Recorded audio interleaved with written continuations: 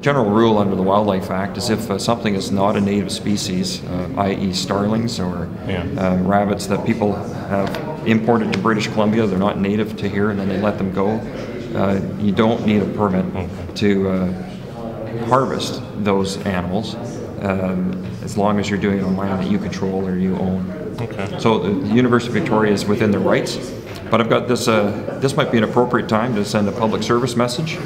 Uh, Easter is approaching, and I know that every year families think it might be uh, an interesting time to give their children a furry little rabbit. And I just ask people to think twice about that because those rabbits become big, and eventually, sometimes the children's uh, interest in those rabbits passes over time, and then the uh, the owners release those rabbits, They send them to UVic. and that contributes to the feral rabbit problem that we have, uh, not just at UVic, but in other parts of, of British Columbia, for example, in the Kelowna region as well. Uh, they're uh, wrestling with the same issue.